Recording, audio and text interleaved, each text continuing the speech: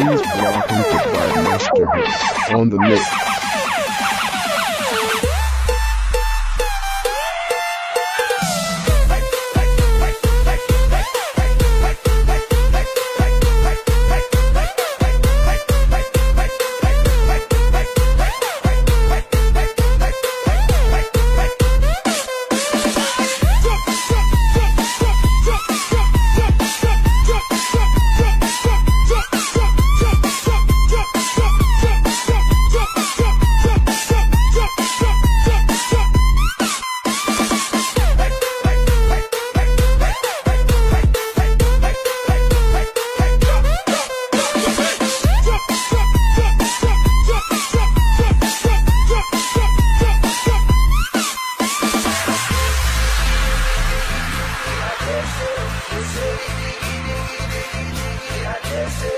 crazy.